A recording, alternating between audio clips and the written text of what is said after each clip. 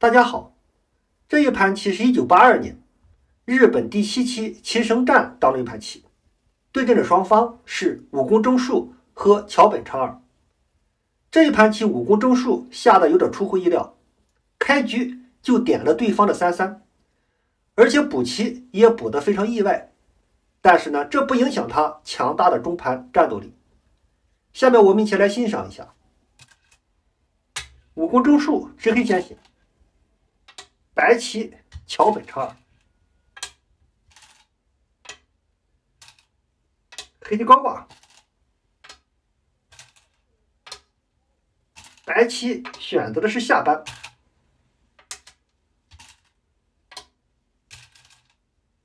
黑棋小尖，白棋不肯飞在这儿，黑棋尖冲就把下方的白棋压制在低路，白棋。开边，黑棋飞压白棋，白棋跳出去，黑冲断。那么黑棋断掉白棋以后，桥本昌二选择的是这个连接。下面我们看一看 AI 在这一代战斗的思路。AI 的推荐，白棋打吃这个黑棋，断哪边吃哪边。黑要反打，然后黑线就爬。下一步，AI 就推荐脱先，先点三三。虽然四个白棋还没有活，但是非常有弹性。将来黑棋如果封锁白棋，白棋有一个二路脱可以活棋。如果黑棋在这个地方破眼，那么白棋一冲，黑棋挡住。白棋完全可以围绕这个断点来做文章，白棋也是充分可战。实战对待黑这个断，桥本昌二连接，黑棋吃住这个白棋，白棋大费手脚，这种下法大致也是两分。下一步，武功正树的下法就有点意外，直接就点了三三。如果换的是小林光一、赵志勋，这个点三三无可厚非。但是武功正树现在来点三三，在他宇宙流作战的体系当中非常少见。白棋先挡住，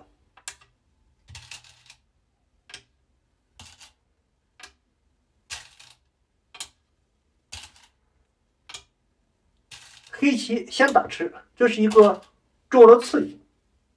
然后呢，黑线的扳，实战黑棋走狼入虎，黑棋也可以走这个单单，同样黑棋可以活角。黑下入虎，白先打吃，白棋要虎的断点，黑棋来活角。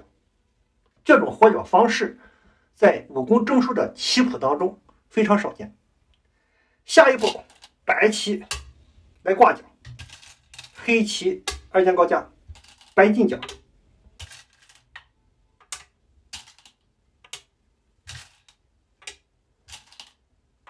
右上角双方走了一个定式，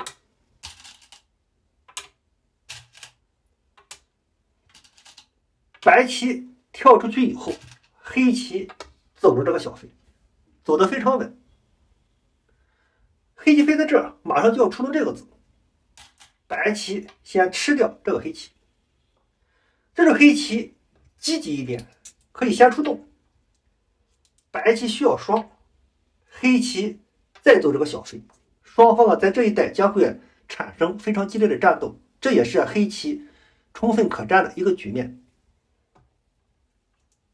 吃着黑棋，最终还是选择了这个小飞。白棋打吃，下一步武功中树在这个地方居然还要补棋，补棋的方式跳在这儿，这招棋也是不太常见，最常见的下法黑棋中央小飞，紧接着有一个靠，但是呢武功中树担心白棋从这个地方大飞出去，因为这一带的白棋非常厚，上方两个黑棋就显得。有点单薄，于是武功正数跳在这，这一招棋也是武功正数独有的一种感觉。下一步，白棋挂角，黑尖顶，白棋往上长，非常普通的一招棋。但是现在这个局面，白棋这个长没有得到人工智能认可，因为白棋长起来以后和这个白棋之间的间距有点尴尬。白棋补棋也不是，不补也不是。如果补的话，稍显重复；如果不补，这个地方很显然存在一个打入。这是 AI 的建议，白棋不是长这个，直接点三三。黑棋大致要往外虎，白棋退。黑棋需要通过这个小尖避免白棋二路搬过。这是白棋可以选择二路小飞来活角，也可以选择往上拐。黑棋如果吃住角上白棋，白先打吃，然后呢，白棋再一飞。那么这种下法胜率比实战要高一些。实战白棋往上长，武功正数，单关跳。那么黑这个跳也降低了胜率。这种黑棋应该是走这个小飞，把这个角守的扎实一点。实战黑棋单关跳，桥本叉二，直接点了三三，这都是人类常规的下法。但是，AI 的建议，二路一点，黑棋如果虎住，白棋爬，黑棋再虎的时候，白棋这个夹是要点，黑棋不能立，白棋一长，这个地方有扳过，黑棋需要虎，白棋打吃，黑棋反打，白棋提劫，这个劫白棋不怕，实战白棋。直接点三三，黑棋立，白棋要求活角，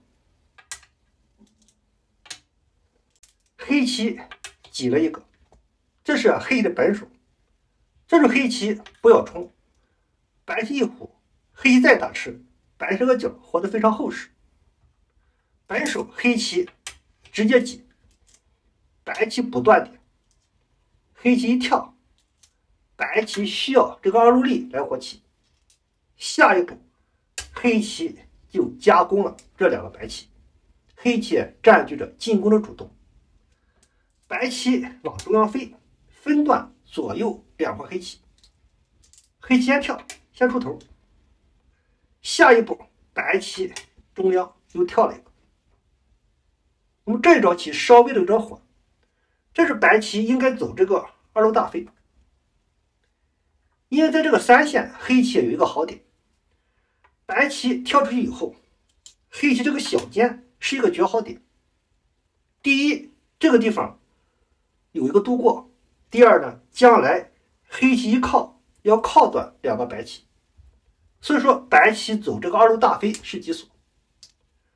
那么黑棋小尖了以后，桥本叉二，二路一爬，威胁这个冲断，但是还是有点脱离主战场。这是白棋，还是应该先爬。本身目数非常大，黑棋虎的时候，白棋通过这个刺来整形，这是白棋比较积极的思路。实战白棋二路爬，黑棋就占据了打这个要点，不但要威胁脚上白棋，这个地方还出现眼位。白棋二路立，黑棋尖冲了一个，白棋塔。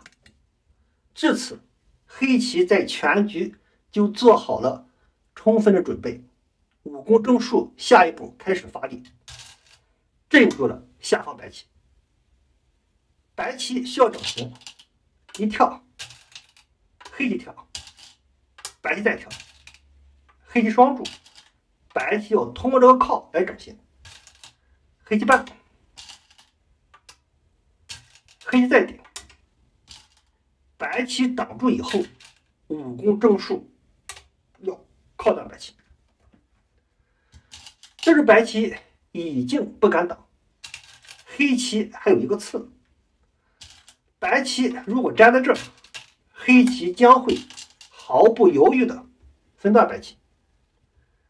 白棋如果占这个断点，黑棋将会分断上方白棋。这个作战黑棋非常有利。于是白棋从上方压住黑棋，黑棋长，白棋搬，黑棋一拐吃住两个白棋。这个战斗武功中数没有什么不满。那么作为桥本昌二来讲，白棋就断掉了黑棋，这也是白棋唯一挑起战斗的地方。黑棋先小尖，看中将来这个跳，白棋长了一个，黑棋一双，白棋跟着长。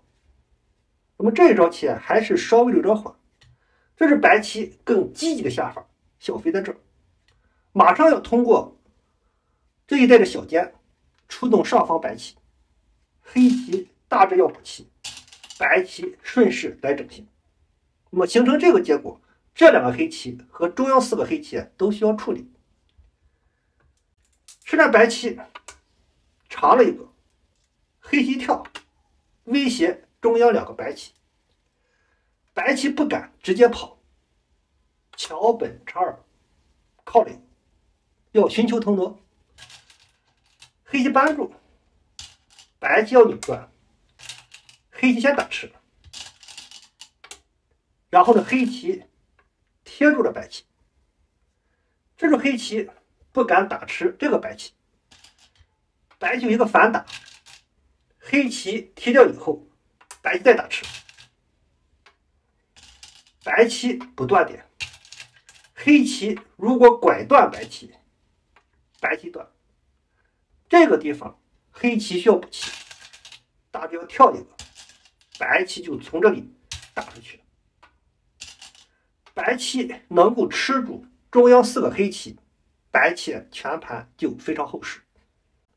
那么实战黑棋为了避免白棋打吃了再反打，于是就贴了一个，白棋打出去，黑棋挡住。白棋二路这个二路扳漏掉一个次序，白棋应该是先断，黑棋粘住以后，白棋再走这个二路扳，这个白棋将来啊有一定的借用。实战桥本昌二直接扳，武功正数一连接，黑棋就非常厚实，白棋需要不断点。白棋破掉上方，黑棋失控。那么黑棋呢？跳了下去。中央四个白棋被封锁，桥本昌二不甘心全部死掉，于是桥本昌二挖了一个黑棋打吃，白棋一长，黑棋不断点，下一步白棋就断掉了黑棋。那么这个断就有点操之过急。这是白棋最稳的下法是单长，黑棋如果补断点，白棋这个拐就是要点，下一步要扳吃两个黑棋，黑棋需要补棋，白棋外围先刺，黑棋粘住以后，白棋从这个地方打出去或者断，和黑棋啊在中央展开战斗，那么这个战斗就非常的复杂。但是呢，这却是白棋最好的下法。实战桥本昌二直接断，黑棋先打吃一下，白棋长，黑棋粘住，白棋断掉了黑棋。那么下一步，二路一点，白这个角被吃掉。那么桥本昌二。就在中央先顶了一个，黑棋一挡，白棋一拐，白棋要在这一带分断外围的黑棋。之所以桥本叉二要弃掉这个角，也是想抢占外围的进攻的主动。那么白棋一拐，首先黑棋不能粘，因为白棋一连接，这是先手，黑棋不能吃，黑棋要补断。这时候白棋可以率先在外围啊发起进攻，于是为了避免白棋这一带走后，黑棋先连接。那么至此，中央的白棋全部都连了回去。那么白棋付出的代价是这个角，现在黑棋失控开始领先。那么桥本叉二现在唯一的希望就是要强攻中央黑棋。桥本叉二点在这，一是有冲断，这个地方也可以断掉黑棋。看上去白这个点非常严厉，但是呢，武功中术不急不躁，先搬了一个，白棋一虎，黑棋虎在这，这是先手，白棋要一路打吃。那么这个子对下一步封锁这个白棋有一定好处。黑棋一跳，那么白棋在二路跳了一个，这是一个先手，黑棋需要补棋，如果不补。白棋这个一路力就变成先手，黑棋挡的时候，白棋活脚。于是黑棋先靠，白棋飞出去，要求破野。那么黑棋跟着一飞，还有封锁，白棋冲，黑棋不能挡，这个地方有断点，黑棋要冲断白棋。白棋再一步，紧接着白棋一挡，这一带时空非常大，武功正数就压了一个。下一步桥本昌二先连接，黑棋挡，白棋挡，黑棋先搬，白棋一虎，黑棋破野，白棋挡住，黑棋往里面爬，白棋一挡。黑棋再破眼，那么在这个角上，桥本昌二把变化给走完，不知道是打将还是要考验武功正数做活的能力，总之不得而知。下一步白棋一路搬，黑棋先唬住，角上的白棋死得非常干净。下一步桥本昌二回过头来再来破眼，黑棋拐。白棋挡住，黑棋呢跳出去，白棋先踢掉，黑棋提二还一，下一步白棋冲，继续破野，黑棋挡，这是白棋不肯断，黑棋一打吃，白粘住以后，黑棋再一挡，黑棋轻松活棋，在这个地方，白棋挡在这，黑棋一长。然后这白棋又把这个子长了一个，黑棋二路挡，白棋一路搬，黑棋吃住两个白棋。那么桥本昌二也是让这一带黑棋只有一只，桥本昌二又飞了一个。那么白棋也是看一看下一步能不能缠绕角上黑棋和中央黑棋。那么黑棋开始做眼。因为这个地方有冲断，这个地方还存在一个断点，白棋呢就后势的补了一手，将来白这个扳就是非常大的一种棋。如果黑棋简单的往里面长，将会落后手。于是武功中数为了抢先手，扳了连扳。如果白棋打吃在这儿，黑棋连接吃住左边白棋。如果白棋断在这儿，黑棋一连接，白棋还需要补棋，那么黑棋呢，在这个地方就得到一个先手。所以说，黑棋搬了连扳的构思非常好。这个时候，桥本昌二已经啊来不及走这个段，冲，继续要破野，黑棋挡住，白棋团，黑棋打吃，白棋反打，黑棋踢掉。白棋再扑进去来破眼，局部黑棋只有一只眼，于是呢黑棋长了一个。只要黑棋顺利的连回去，这盘棋啊武功正数胜利在望。桥本昌二直接靠住黑棋，黑棋搬，白棋退，黑棋需要补断点，白棋要冲断黑棋，黑这个跳是好点。白棋只有继续冲，这个地方有冲断，这个地方有连接，五攻中数走着这个双。那么双在这儿，白棋要连接，黑棋先打吃，白棋踢掉，下一步黑棋一挖，挖吃两个白棋，中央的黑棋顺利活棋。那么黑棋顺利活棋以后，这盘棋桥本叉二已经啊失去了取胜的机会。最终的这盘棋，武功中数中盘战胜了桥本昌。